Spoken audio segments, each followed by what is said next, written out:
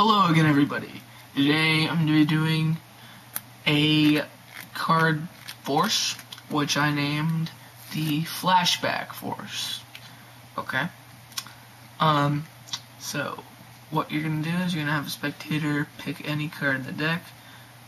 Just say they picked that card, the Nine of Spades. Then what you're going to do is you're just going to cut the cards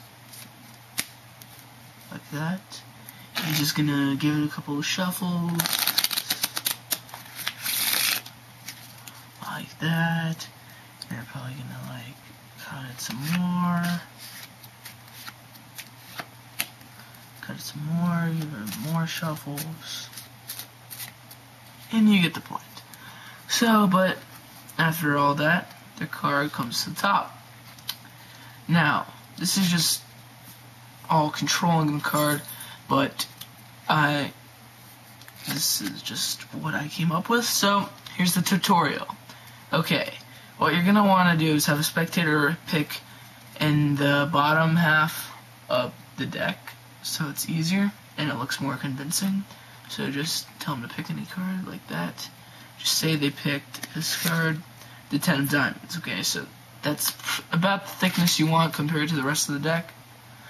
Um, so yeah, and then what you're going to do is you're going to catch a pinky break right there, not revealing it to the audience or your spectators.